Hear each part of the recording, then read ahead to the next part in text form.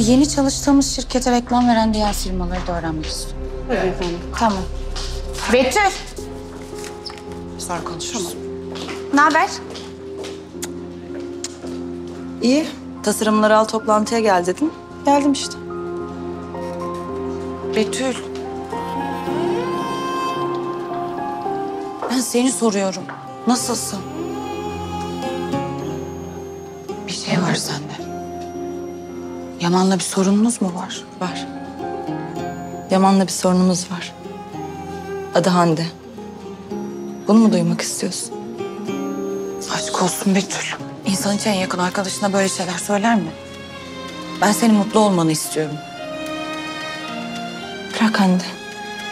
Sen benim yakın arkadaşım falan değilsin. Eğer öyle olsaydı yıllardır Yaman olan aşkımı görürdün.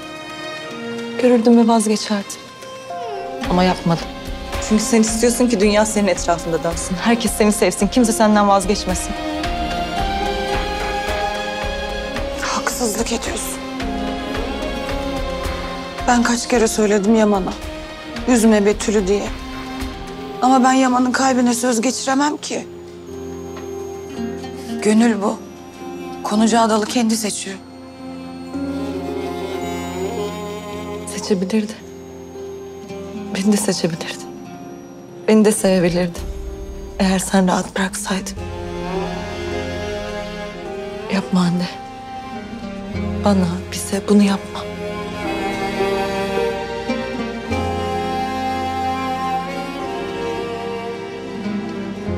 Tamam. Toparla kendini. Toplantıya gireceğiz.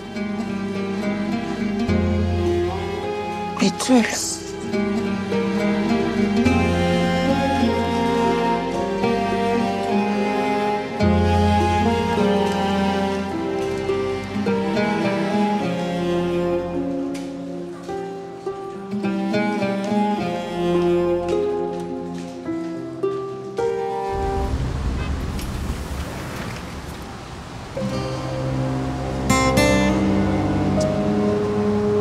Hayda anahtarları unuttuk ha.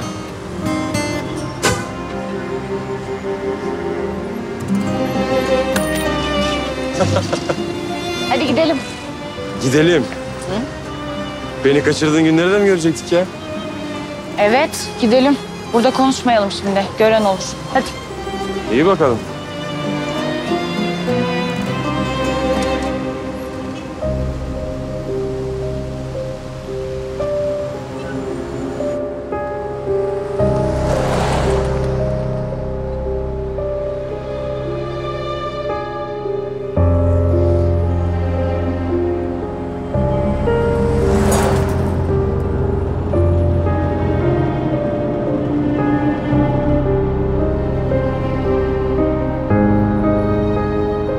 Hayırdır ne bakıyorsun öyle? Seni çözmeye çalışıyorum. Sen beni çözüp bitirmedin mi zaten ya? Ee, demek sancakzadelerin iyilik meleği oldun ha? Ferit affetti mi seni? Ne diyorsun ya? Hande, herkesi kandırırsın ama ben yemem. O uyduruk kahramanlık hikayenden sonra Ferit Ayşe'yi boşayıp senle mi evlenecek sanıyorsun? Bilemezsin. Belki farklı planlarım vardır. Ha bilmez miyim ya? Kafanın içinde kırk tilki, kırkının kuyruğu birbirine değmez. Küçükken kendimi iyi sakladığımı düşünüyordum. Ama sen tek kaş hareketimle çözerdin beni. Bu hayatta beni en iyi tanıyan insan olarak kalacaksın.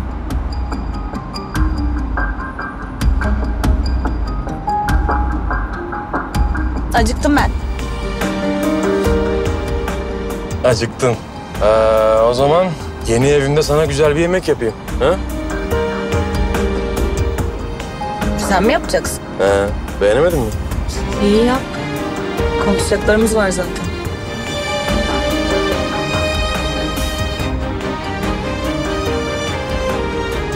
Güzel araba.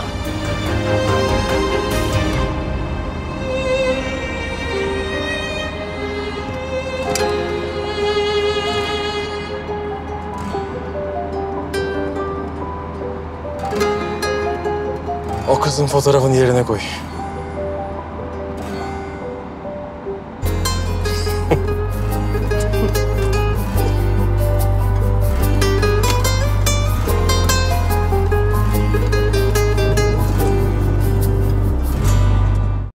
Kalp Yarısı ATV'de.